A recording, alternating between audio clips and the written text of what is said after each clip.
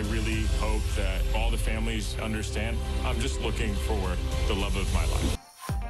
Hometowns are officially here. We are breaking down the trailer for next week's episode of The Bachelor. Hey everyone, welcome back to another shared news. The end of Zach's season of The Bachelor is coming near.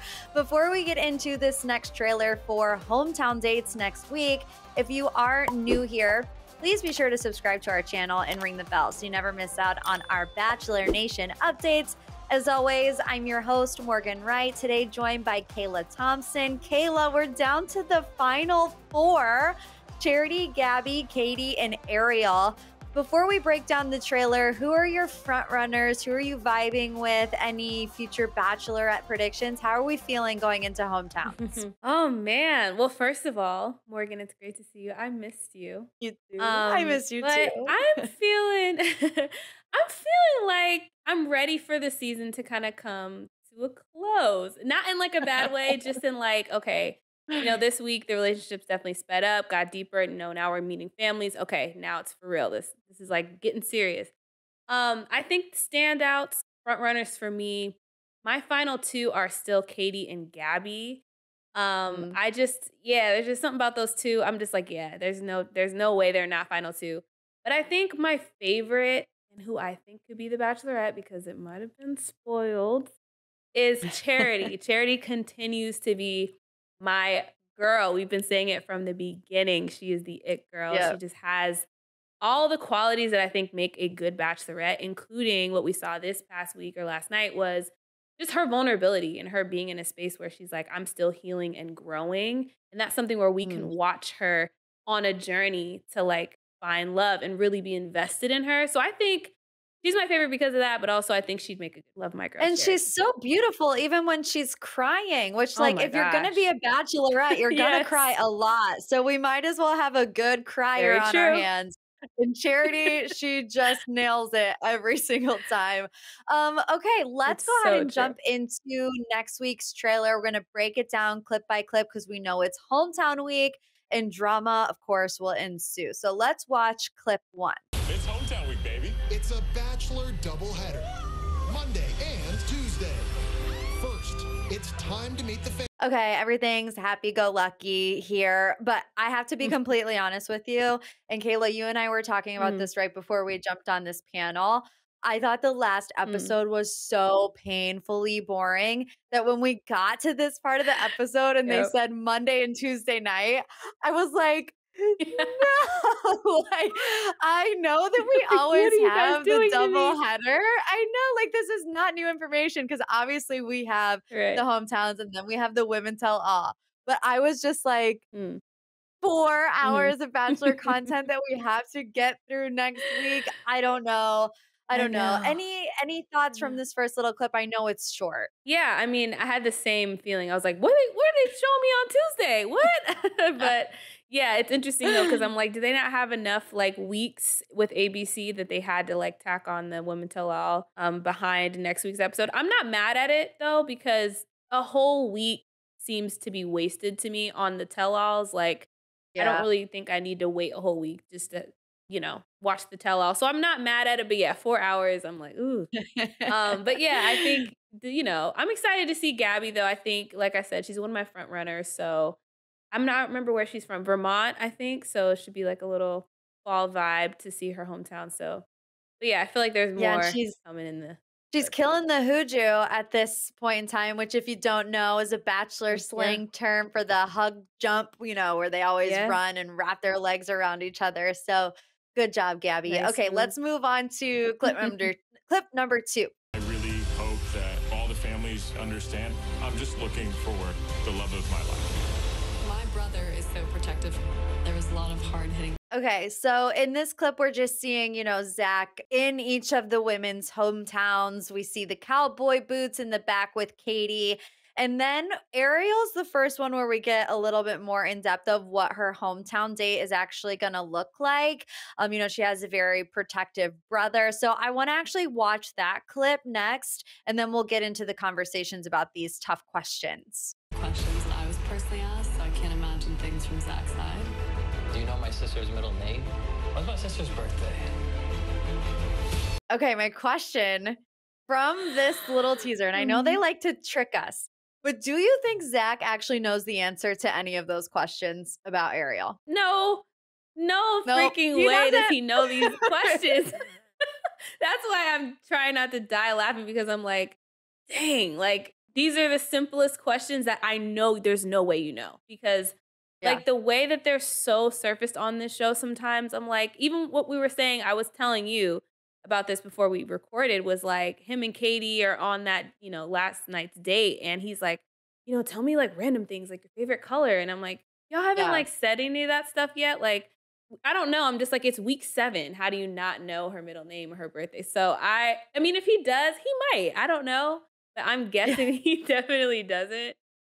Um but yeah, this is going to be a tough tough hometown for him. I I hope he's prepared cuz they're they're not going to let him up easy. Yeah, I mean, especially when you consider the fact too that Ariel was kind of a dark horse until, you know, the last couple of weeks. We she didn't really get a lot of screen Right? beginning. She just got her one-on-one date. I would say probably of all the women, I mean, obviously we don't know because there's a lot that we don't see, but it feels like he probably Mhm. knows Ariel the least. Or uh, would you know, they just haven't had the same amount of time as everybody else, or at least it's been presented to us that way. But Ariel's family isn't the Right. only family grilling Zach. Um, let's meet Charity's family next.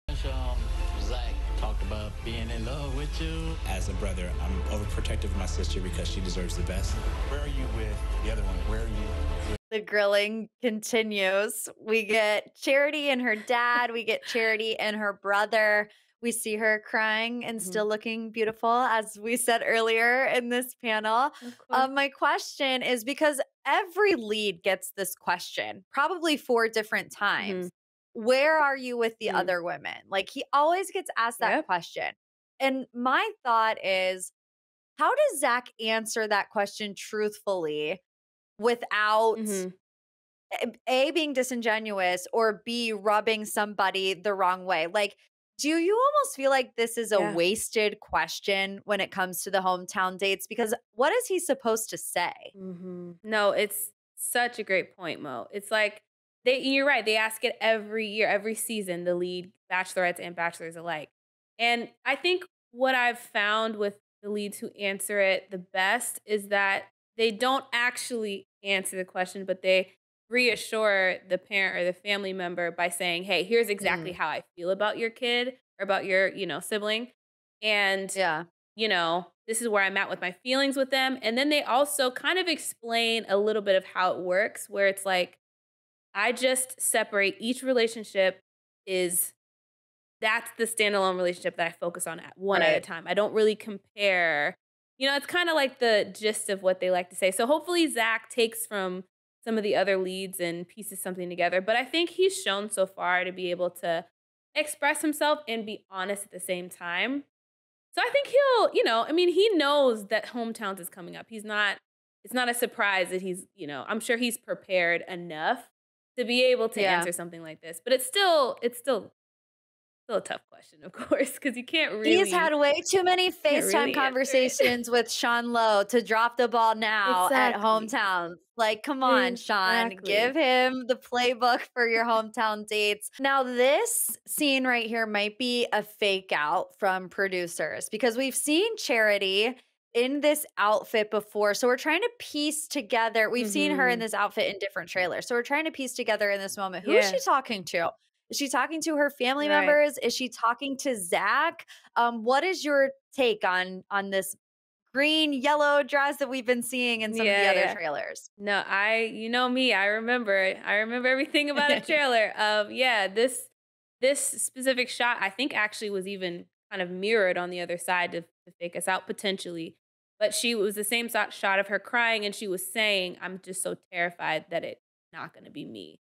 Um, and so we were then we were, you know, breaking it down. Could it be the family, Zach? I think, I think it's probably the family. I think just with how we saw her speak to Zach about her struggles and her insecurities last on last night's episode. I think she's aware that Zach, Zach, you know, you don't want to tell Zach that you're unsure about him. You know what I mean? Like, or you're unsure about their Mm. relationship. So I think she's probably just expressing to her family member, you know, I'm not gonna lie, I'm scared to get hurt. Um, which she said as Yeah. much to Zach before. So, but I don't think it's anything of a breakup right now. I don't know. I feel like Charity and Zach really have a strong connection. Even in the clip earlier with her Huju, they seem pretty like I don't know. It looked like a good Huju. Like they kind of have some good chemistry. I don't know. Zach is really confident about her. Um, Mhm. so I don't see him breaking up with her like in the middle of the hometown. I think if anything, it'll she, she'll make it to the rose ceremony. So yeah, to me, it's the talking to the family. Well, Charity's not the only one who potentially has some doubts. We see um, Gabi get emotional in this next clip as well. Let's take a look. Felt ready to tell Zach I love him, but I'm scared. You might be falling in love with Kaity? Okay, so this is interesting for a couple of different reasons. So, Mhm. this is the first time when it comes to Gabi or any of the women that we're hearing, I'm starting to fall in love, right? Um, so it's kind of making it seem like Gabi wants to tell him, but she's feeling a little reserved. Do you think that that's why she's crying in this moment? Or is she crying because, you know, she's also talked about her insecurities this past episode, about how Mhm. she's really in her head? What do you think when it comes to Gabi? What's going on here? Yeah. Um, I do think she's emotional about something else. Just the way that Zach is consoling her. Usually I think when people get a little like they're tussling between am I gonna say something, am I not? It's it's less of like a weepy, I have a tissue crying. It's more of like you just kind of you you know you can see in their face there's an inner struggle, and then you hear in the ITM, you know, what they're Mhm. talking about. And the lead is kind of just looking at them like, what's are you gonna tell me? Like, you know, they know that this is the moment outside the house to tell me you're falling for me. Um, so this seems like to me something else, actually. I don't think it's about uh even her ADHD and things that she's talked about with her neurodivergence. I think it could be something else that maybe has to do with her family that we're not aware of quite yet.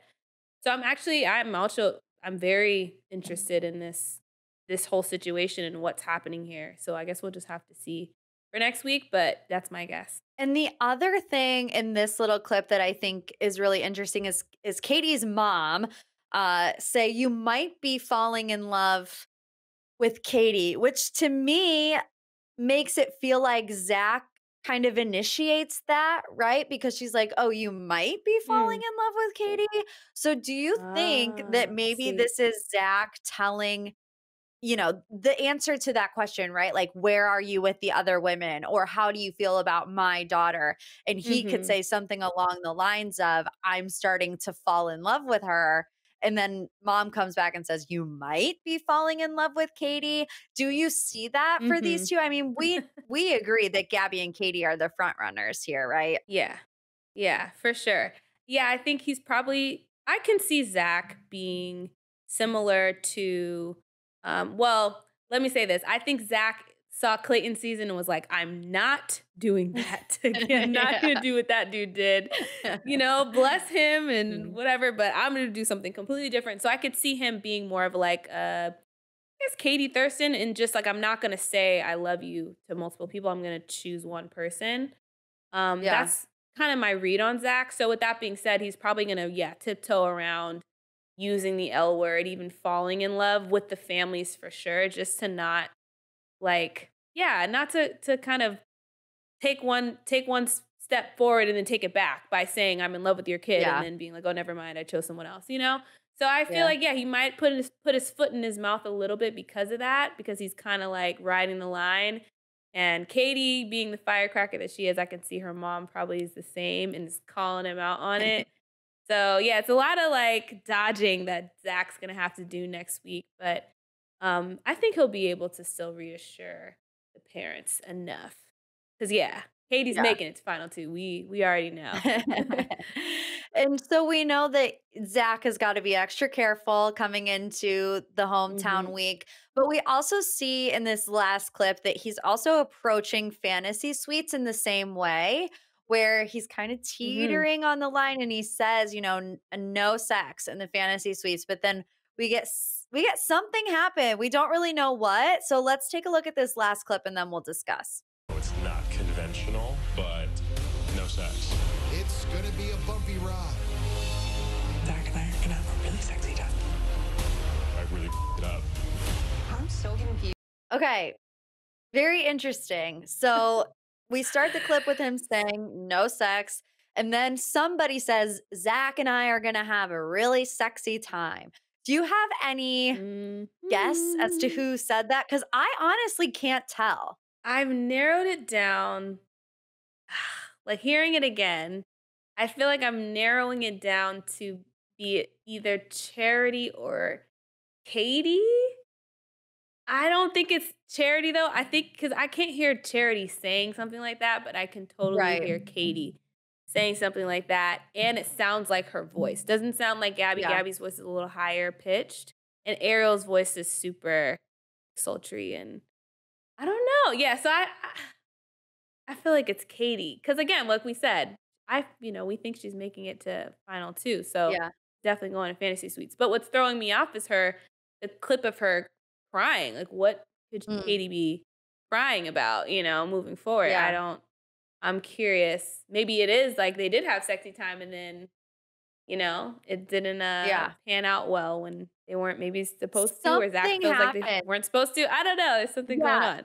Yeah. Something happens because he says, and it might not be like, you know, that he actually does end up hooking up with one of the other women in the fantasy suite date, but he does say things that kind of make us raise our eyebrows, right? Like at the end, he says, Mm-hmm. it was a beautiful moment that feels like it was robbed, you know? So that kind of feels like Yeah. he could be insinuating that something happened and the drama that overshadowed it kind of took away from the moment. He says, I messed up. He says a different Mm. word that we can't say on the Shared News YouTube channel. So, I mean, we're getting all of these clues that something bad happens on Fantasy Suite Week. Mm. We've seen little other trailers of Kaity crying in a jungle somewhere. So Yeah. it appears that maybe she is on the receiving end of something bad that happens. I don't know. Do you have any final Mm. predictions Yeah. About anything that's going to happen by the end of the mm. season? okay, with what you just said, I think a lot of times the drama, oh, the most dramatic thing ever is about to happen is usually like not even that serious. So I don't think it'll be anything devastating with like Kaity being upset or crying. I think if anything, maybe what they are, I think bringing back this season. I don't remember if they did it. They do it during Clayton season. I think they did, where you know they make them fantasy suites. They're all in the same space, and they come back from the dates, and it's making them all nervous when they're like, "How'd it go?" Mhm. Because this season, Morgan, these girls were doing that already. Like, Yeah. oh my god, girl, I'm so happy for you. Oh, that is so. Oh, and I'm just like, Yeah. y'all, you Come know your feelings are hurt right now. Come on, like you know you are struggling, and they go in the ITM and they cry. So there's no Yep. way that the like the fantasy suite is definitely they're gonna make those girls be there, you know, anticipating for Gabi to come back from her fantasy suite. So maybe Kaity is upset about that. Who knows? And you know they're all gonna be upset. Um, but yeah, I think you know my final predictions are those two things, and then also um, I think for who's making it to final three is really stumping me because, like you just said earlier, I think that Zach's least connection is with Ariel just because she's late in the game. But also, I could see Charity not making it to Fantasy Suites because I think her and Zach have more of a friendship, like best friends connection, than like a sexual connection. So Mhm. Zach might, you know, be deciding between, you know, between that, I guess. So I'm intrigued Yeah. to see how hometowns go. Um, also with, you know, us potentially seeing maybe Charity could be the next bachelorette. She goes home. They could they could air that on Tuesday night, you know what I mean, for the women tell Mhm. all. So I don't know. We'll have to see. I'm having a lot of thoughts. We'll have to see what happens. no, but I mean, we have seen them like switch things up, you know, as of late, where uh not so much this season, but like you said, you know, they'll start the episode on Monday night, and then when they have it back to back on a Tuesday night, they'll leave us at a little bit of a cliffhanger that will finish on Tuesday night, that will then go into the women tell all. So that could be how maybe Charity makes her way out, or who knows. Um, one thing I will say is that I feel like in the most recent weeks, all the trailers have really been misdirects. Like I I used to be able to so Mm. clearly read a trailer and be like, this happens, this happens, this Mhm. happens. But I feel like they're throwing Yeah. us more curveballs. They're leaving things out. So who knows what is going to happen, but we're going to find out in the next coming weeks because we are getting to the end of this thing. You guys let us know any comment, thought, opinion you have on what we can expect for hometowns. If you want to do a final rose predi- prediction, if you want to do a bachelorette prediction, we love to hear all of your thoughts and your comments and your opinions. So leave one in the comments section below. Before you go, if you haven't done so yet, be sure to subscribe to our channel, ring the bell so you never miss out on our Bachelor updates. As always, I'm your host, Morgan Wright. I was joined today by the wonderful Kayla Thompson. Both of our social media handles are on the screen now. If you want to come give us a follow, and we will see you back here next time. Bye, everyone.